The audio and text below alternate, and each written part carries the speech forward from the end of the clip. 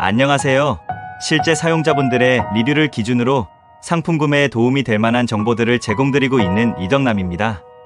장단점 중심으로 짧게 정리했습니다. 바로 시작하겠습니다. 오늘 알아볼 상품은 가정용 온풍기입니다.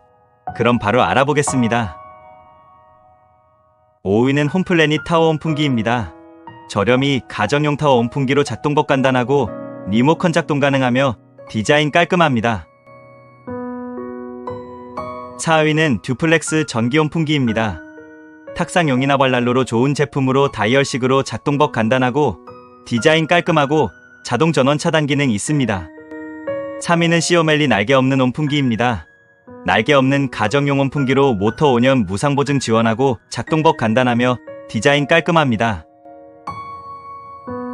2위는 뉴카르페 가습 온풍기입니다.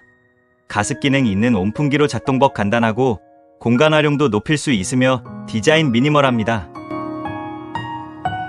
1위는 미니아 가정용 온풍기입니다. 가장 리뷰 좋은 가정용 온풍기로 올해 9월 출시 신제품이며 온도 조절 기능 있고 디자인 고급스럽습니다. 시청해주셔서 감사드립니다. 구독과 좋아요 감사드리고 오늘도 즐거운 하루 보내시길 바랍니다.